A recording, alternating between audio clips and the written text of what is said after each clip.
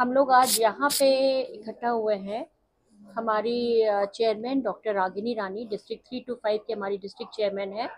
और अभी दिल्ली में जो हमारा प्रोग्राम हुआ है यूफोरिया नेशनल लेवल पे, उसमें हमारी इंटरनेशनल प्रेसिडेंट फ्रिश डगलस आई थी और उनके द्वारा हमारी चेयरमैन को वहाँ पे बहुत सारे अवार्ड्स मिले हैं। तेरह अवार्ड्स हम लोगों को वहाँ मिला है डिस्ट्रिक्ट थ्री टू फाइव को, जिसमें भारत की बेटी का भी एक अवार्ड था जो हमारी चेयरमैन को मिला है। और आज उन्हें हम यहाँ पर सम्मानित करने के लिए उन आज हमारा सौभाग्य है कि वो हमारे बीच हैं और उन्हें हम सम्मानित करने के लिए आज यहाँ पर हम लोग इकट्ठा हुए हैं।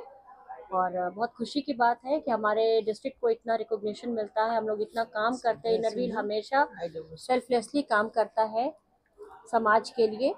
और जिसको लीड करती हैं हमारे चेयरमैन डॉक्टर रागनी रानी। मुझे इंटरनेशनल इनरविल क्लब की मैं डिस्ट्रिक्ट थ्री टू फाइव की चेयरमैन हूँ। हमारे सौवा साल पूरा होने की खुशी में दिल्ली में शताब्दी समारोह इफोरिया यशोभूमि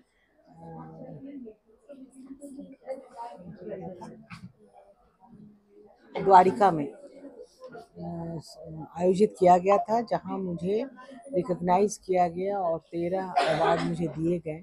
ये हम सबों के लिए बहुत ही खुशी की बात होती है जब हम समाज के लिए काम करते हैं और हमें सम्मान दिया जाता है, सराहा जाता है, हमारे काम को पहचान मिलती है तो ये हम सबों के लिए बहुत ही खुशी की बात होती है। और आज इनरविल क्लब ऑफ़ पटना ने उस सम्मान के लिए मुझे सम्मान दिया है। यह और ही हर्ष की, का विषय है।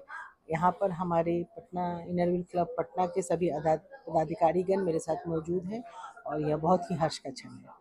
मैडम ने काफ़ी अच्छे प्रोजेक्ट किए हाँ हमारा डिस्ट्रिक्ट थ्री टू फाइव के क्लब्स को जैसे गोल दिया जाता है उस गोल के आधार पर सर सारा क्लब काम करता है। हर महीने में यह निश्चित किया रहता है कि किस महीने में कौन सा काम करना है। और आई डब्ल्यू सी पटना ने भी बहुत अच्छा काम करना शुरू किया और कर रहा है। आगे भी करता ही रहेगा। समाज के किस किस क्षेत्र में काम कर रही है? हम लोग महिलाओं के लिए बच्चों के लिए बूढ़ों के लिए काम करते हैं निरीह लोगों को रास्ता दिखाते हैं और मिलजुल कर दुनिया भर में काम करते हैं।